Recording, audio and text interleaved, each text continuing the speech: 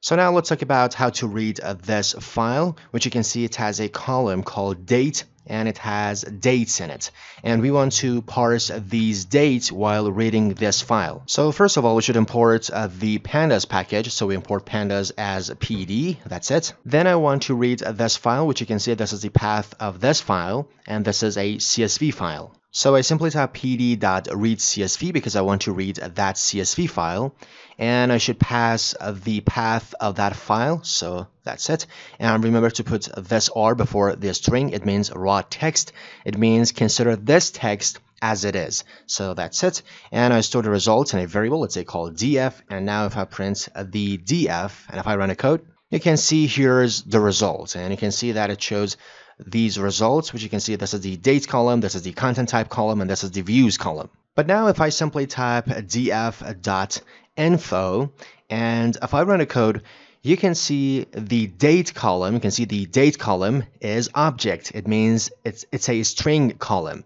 So as you can see, pandas package has not read this column as a date time. It has not parsed this column as datetime. So we need to do it manually. As you can see, automatically pandas has not parsed this column as datetime. So in order to do so, first of all, let's once again print the data frame. And if I run the code, you can see this is the format. So first of all, we should specify the format of this column. We should specify the format of dates in this column. So let's specify that in a string. So the format is as follows. So you can see the first one is the year with century. So in order to denote year with century, I should use the person sign and capital Y.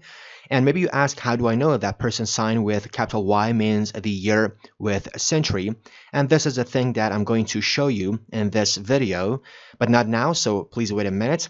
So you can see, first of all, we have the year with a century. Then we have a dash. Then we have the month as uh, the zero padded number. So we should denote that in this way.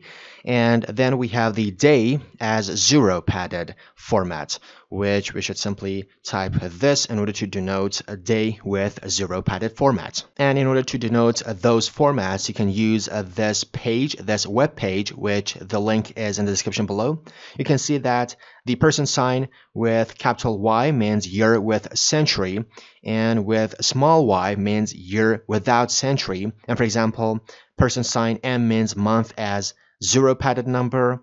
And for example, person sign D means day of the month as a zero padded number and etc. So the link is in the description below and you can use it. And after defining this format, we need to define a function in order to convert the strings to uh, the time. So in order to do so, first of all, we need to import uh, the datetime module. So I simply type from datetime, import uh, the datetime. But now let's define the function. And in order to define the function, we want to use the lambda function format.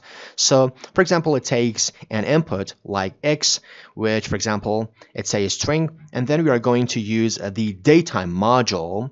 And we are going to use str to time. So we want to convert the string to the time. That's it.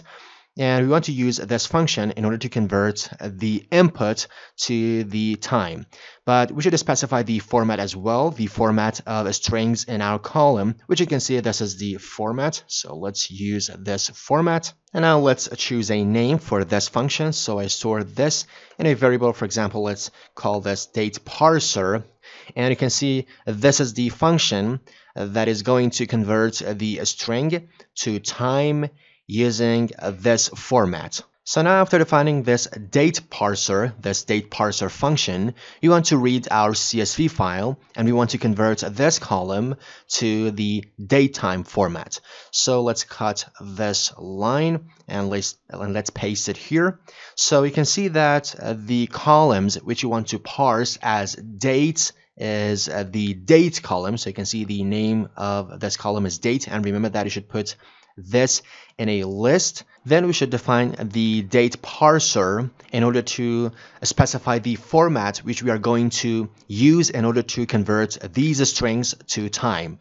So the format, the function which is going to convert these strings to time is this function, date parser. So this is called date parser. This function, which is going to convert these strings to time, is called date parser. It means the way that we are going to parse dates. So that's it. So now if I print the df and if I run the code, you can see here's uh, the output. And if I simply type df.info and if I run the code, you can see now this column, I mean the date column, is considered as date time. So we can see we have successfully converted the date column into the datetime format. Now I really suggest you to watch this video which is on the screen now.